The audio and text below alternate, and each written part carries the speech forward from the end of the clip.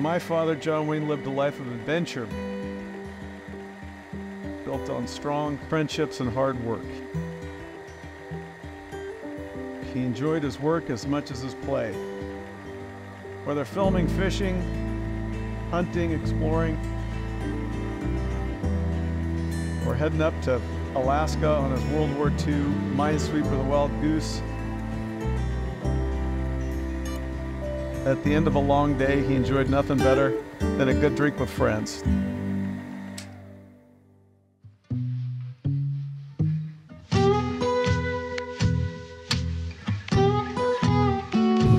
Oh yeah, welcome to the vlog everybody. We started trying to capture stories from people that were around my father while he was alive because everybody's getting older. And then we've had requests to kind of keep it going as they've gotten to know different family members and seen some of the stuff that we do. So thought what the heck, we'll film some of it. So today we're taking a little tour of Newport Beach. Right after I was born, my father moved down here from uh, the valley up in Los Angeles. There you go. Right after I was born, my father bought a 136 foot World War II minesweeper called the Wild Goose. He put it down here in Newport Harbor to make some changes on it and the same time decided to just move the whole family out of Los Angeles and down here. So a story that I heard later on, I'll show you where it is. We're gonna, we'll go by his house and um, hit a big dock, you know, and plenty of room to keep his boat there. But when he put the boat there, he noticed that his boat blocked the neighbor's view, and so he went over and he rented a slip, a giant slip, uh, rather than block his neighbor's view. It sort of exemplifies the kind of person he was. Is that today? Yeah. And so what's the tide right now? Hi, tide. Like we may not be able to get out tonight. Well, we got a bigger bridge so we can get bigger boats in here, but this is one of the highest tides of the year, and I don't think we're gonna get under the bridge right now. I think we're gonna have to come back tomorrow. Yeah, we can um, try sneaking under the bridge, but I think five eighths is like as close as you can get. We'll turn Kiki into a first mate. So you see there's red buoys and green buoys? Yes. So you want to stay between those two. And like sometimes you're not sure where you should be, but you should always have the red buoy on the right when you're returning from the sea. So you say red right returning. So now we want them on the left because we're going out, but when we're returning from the sea, they should be on the right. Because if you go on that side of the buoys, it's very, very shallow and we would run aground in there. We're not getting under. I found it! All right, Kiki, watching that white light? Yeah. Bad time to tell you that I'm bad luck, Ethan. No, I'm, I'm, I'm pretty sure that uh, we're not getting under. I don't know, maybe I'm good to You on? 18. Yes or no? We're fine right this second, but it looks like it goes down, so I don't... We'll have to back look like out. slanted, or is it just me? No, no, it's it's slanted. we're fine right here. Well, anyway, the rest of the video is going to take place on the other side of this bridge. So stay tuned for low tide. We're going to take a tide break. While we're taking a tide break, Check out this Um, cool Ethan shirt. I'm digging this shirt a lot. And if you like it, you can get one for yourself at johnwayne.com.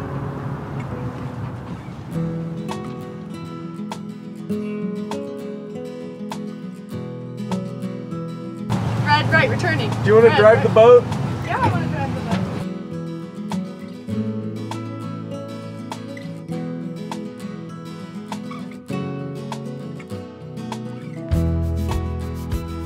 Good job, Keek.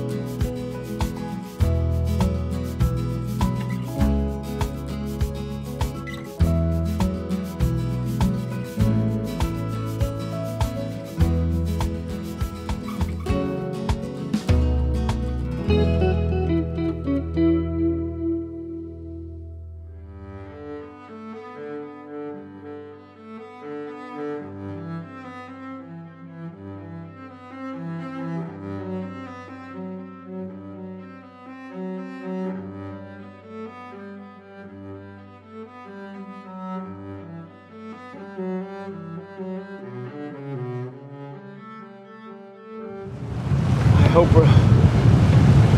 I don't hear any crunching, so the tide must be good. Let's see how it gets so low on this side. It always feels like it's going to hit to me. Tight. This is where the Reuben Ely used to park, and we'd swim over from this neighborhood. swim over here, jump up the bridge, whatever. Get on that paddle wheel and jump off. This horseshoe island here is called Linda Island. And when I was a kid, it was just a mud flat. And uh, when they were putting the survey stakes in it back in the day, the kids would swim over from the neighborhood and move the survey stakes around. If you look, this neighborhood here is called Bay Shores, and it, it comes to a point, and the house right on the point was where my father's house was. It's no longer there. Uh, they've torn that house down and rebuilt something, but that's where it was. Kind of a beautiful spot. They first made this island. There were there was ads where they were selling lots for 1,200 bucks, and if you you know bought it on the weekend, they'd give you a second one for free. and now I don't know what those things cost, but they're expensive. You know, time, time and people, and the wild goose should be parked right up here. It takes people out on little cruises, dinner cruises and things. And it looks very different from when my father had it. They've added a couple more decks to it, so it looks very boxy now. But the hull, you know, is the same, and it's still floating and operating. The hull is, uh, if anybody remembers Jacques Cousteau, his boat, the Calypso, it's the same hull. It was built, they were built side by side in the same uh, shipyard up in Ballard, Washington uh, during World War II. And the Wild Goose actually went up and patrolled in the Aleutian Islands. Oh, I can see the transom of the Wild Goose right there. See the flag, the little wooden transom? It's white. Well, let's go over there and, and ask. We, we can get on there. Let's go check it out.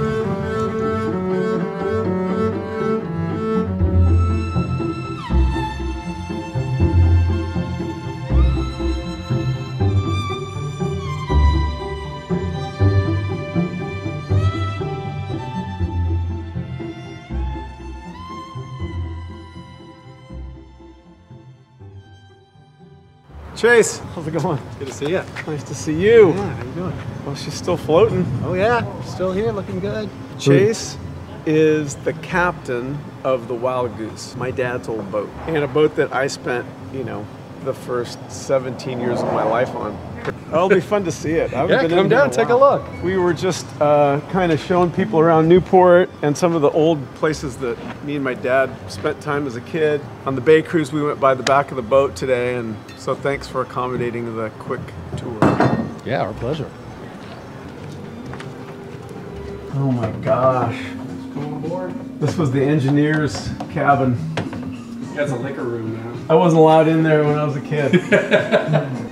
Looks like completely different, but same same basic bones, but a lot of remodeling. We didn't have a lot of the accessories or colors. Or, so it's, it's there's differences, but it's you know it's it's the place. Sunset, we'd fire off this cannon, you know, when the sun went down, and then they'd sit back here and have drinks and these beautiful steaks that they'd grill up on top. And then I never ate here. I always had to eat with the crew and the gal, where we'd fight over the drumsticks. Me and the engineer Ken, who was Bert's brother. Yeah. Ken was the engineer on the boat from you know the entire time while I was on it. And uh, Ken got seasick as soon as we pulled out of the harbor. Carried a trash can around in the engine room. You see the engine room, like you won't believe that this guy lived and worked on this boat. You wanna go to the engine room?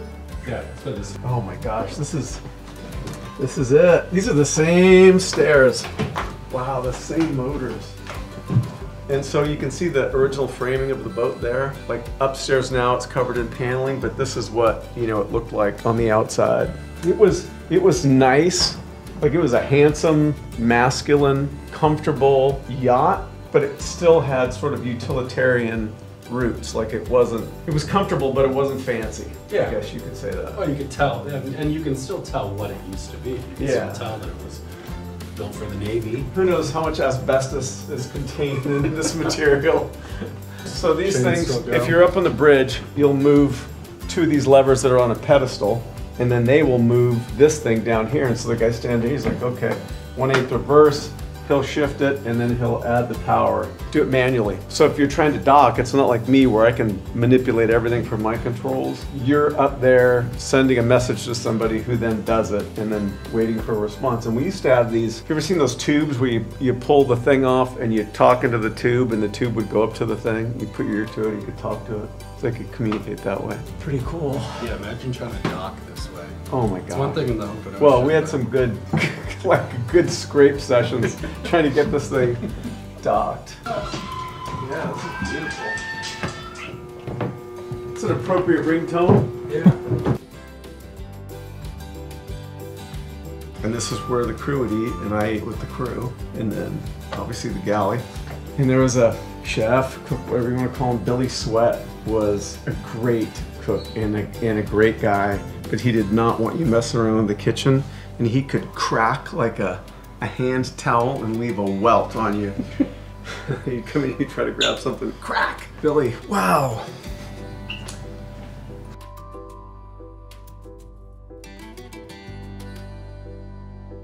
Oh my gosh, this thing. This was like a soda machine. You know, so you could like pull for root beer or pull for Coke or whatever out of that little son of a gun. Hard table. Yeah, look at this. Wow.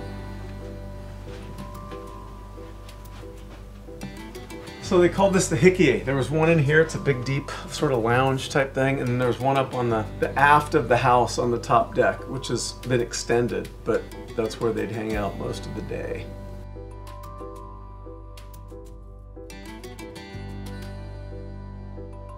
This is my bunk right there. EW 1965. Whoa. And then this was my sister, Aissa. I guess I had the top bunk. And then that window opened up to the Hickey, the lounge that was out there. And then this goes, it has a little bathroom here, and then it went, goes, curves back over to my dad's bathroom and then into his stateroom. Looks like it's the same.